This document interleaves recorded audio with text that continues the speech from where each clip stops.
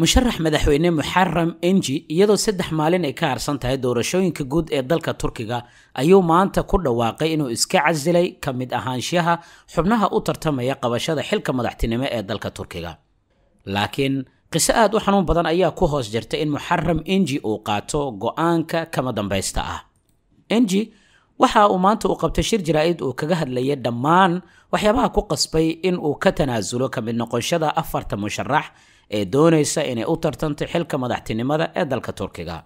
Muxaram enji wuxuu hogaaminayay xisbiga dalka ee dalka turkiga. Wuxuu ku dhawaaqay tanaasulaadiisa inay ka dambeysay kadib markii culaysaadyo badan uu la kulmay afartan iyo shantii maalin ee la soo dhaafay. Waxa uu yidhi wixii aan arkay afartan iyo shantii maalin ee la soo dhaafay ma aanan arag afartan iyo shantii sano ee la soo dhaafay.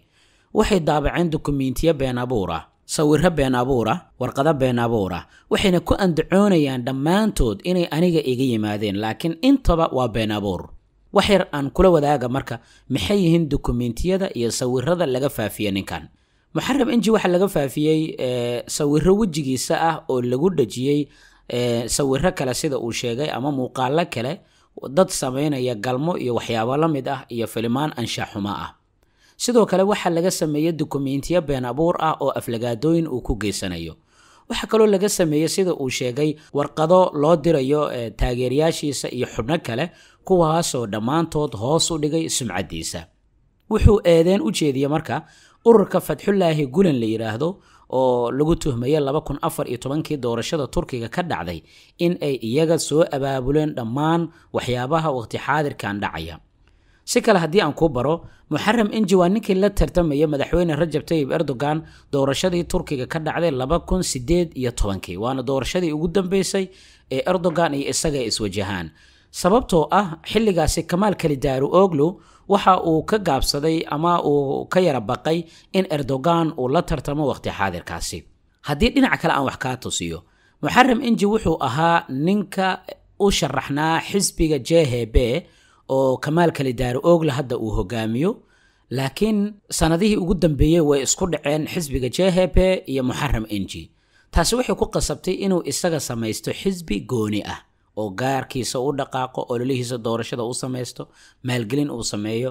Laakiin maadaama laga baqayay inuu taageerayaal badan dhanka xisbiga jhb uu ka jiitay ayaa waxaa la yidhi waa la weerarayaa sidaa daraaddeed waxaa lagu qaaday weerar cir iyo dhula sida uu sheegay in afartan iyo shantii maalin ee ugu dambeysay waxay kaga xanuun badneed afartan iyo shantii sano ee la soo dhaafay siduu hadalka u dhigay. Wuxuu yidhi marka dhammaan dukumiintiyadaas been abuurka ah waxaa daabacay taageerayaasha ururka fatxulaahi gulan qaar ka mid a taageerayaasha mucaaradka ayaa derbiyada ku dhejiyay qaar ka a sawiradeyda dowladdu ma aysan ilaalin sumcaddeyda. Gobolka aan ku noolahay sumcaddeyda lagama ilaalin waxaan arrintan ku tilmaami karayaa buu yidhi waa dil akhlaaqeed abaabulan muuqaalada cajaladaha la duubay sawirada la daabacay dhammaantood waa been abuur iyo aflagaado. Waxataa ka sii dara ninkan waxaa laga sameeyey group whatsapyo ah oo isaga hogaanka u hayo oo dhammaan sawiradan lagu soo daabacayo iyo muuqaalada.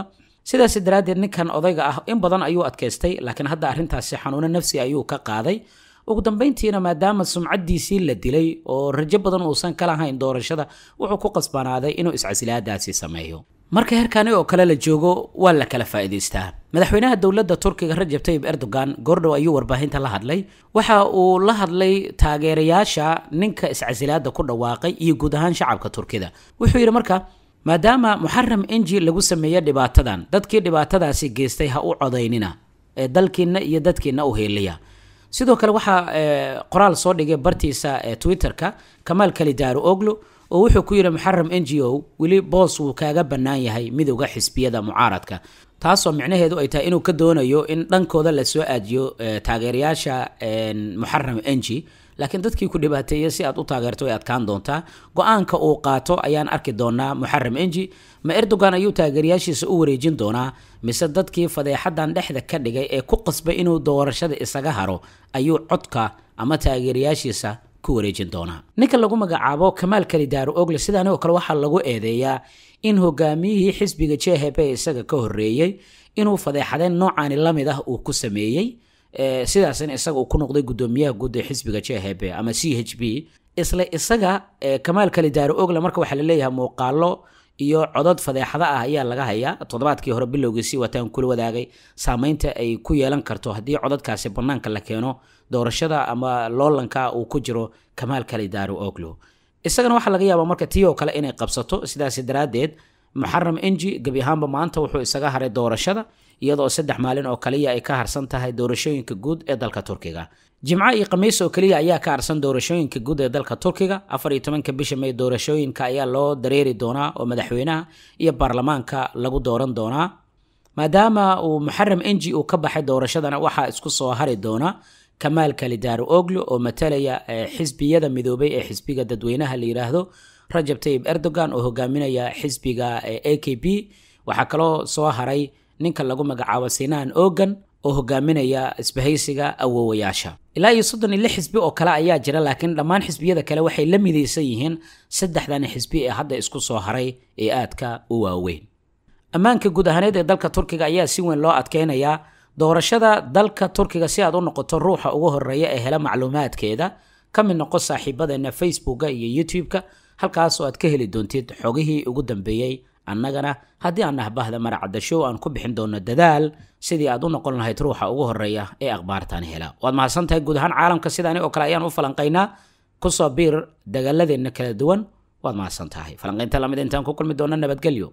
Suudaan ciidamo nabad ilaalin ah ayaa loo diri doonaa waa qorshihii laga damacsanaa muddo dheer.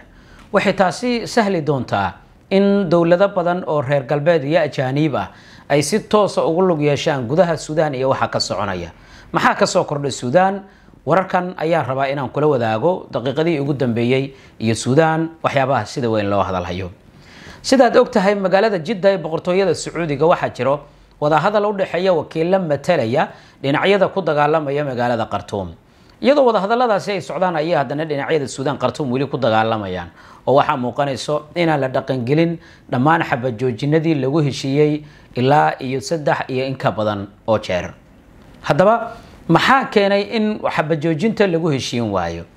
Waxaa keenaya mar walba oo xabajoojintan la gaaro dhinacyada suudaan waxay u muuqanayaan iyaga oo taageero kala duwan helaya in amarka madambeesa gadaal laga siinayo oo magaalada khartuum duqeymo iyo sidoo kale ay ka bilaabayaan inay ku wada dagaalamaan. Maadaama dhinacyadan ay magaalada bartamaheeda joogaan mar walba waxaa la filaysan karayaa dagaal iyo israsaaseyn dhinacyadan dhex marta. Shaarar qabow ah isku joogyo sportis iyo funaanado qurxoon. Ku doro labiskaada tayo iyo qiimo jaban oo la xidhiir marcadda style. Ama telefoonada shaashada kaaga muuqdo. Mahadsanid. Maxaa yeelay ciidamada milatariga ah waxay doonayaan inay magaalada khartuum gacanta ay ku dhigaan. Dacmu sariic waxay doonayaan qorshaha milatariga inay ka hor yimaadaan. Milatariga diyaarado dagaal ayay haystaan.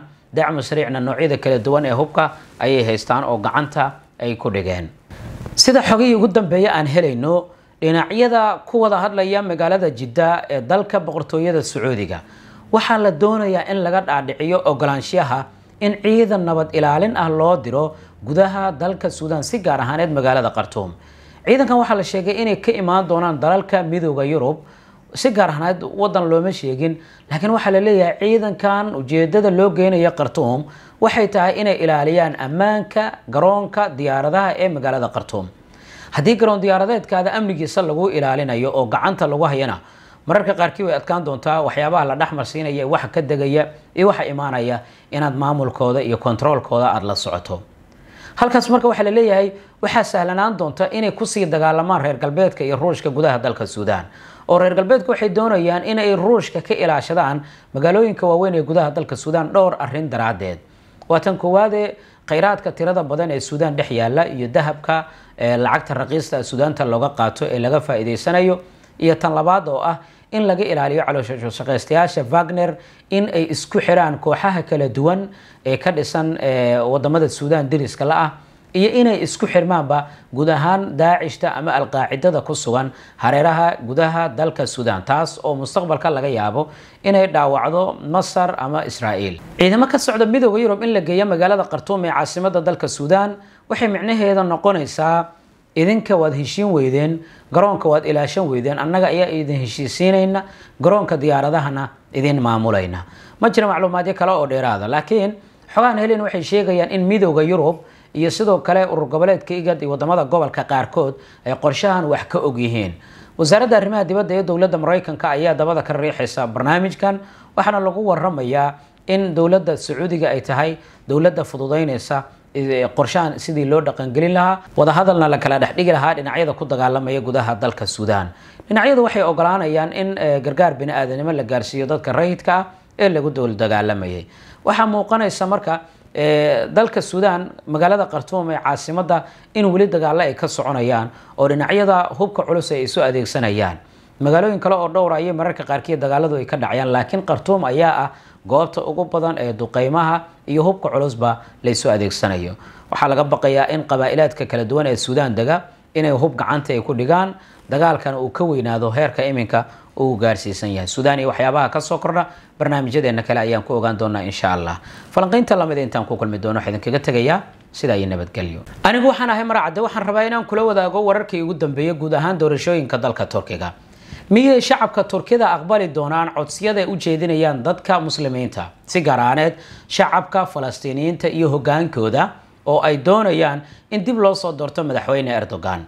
Miyay sidoo kale aqbali doonaan codsiga iyo garab istaaga soomaalida ay u muujinayaan madaxweyne rajab tayib erdogan? Arrimahaas iyo guud ahaan wararkii ugu dambeeyay ayaan kula wadaagi doonaa daqiiqadaha soo socda insha allah. Sida aan warbixinadeenii ugu dambeeyey kugula wadaagay doorashooyinka dalka turkiga meel xasaasi ah ayay marayaan jimco iyo sabti oo kaliya ayaa ka dhiman doorashada.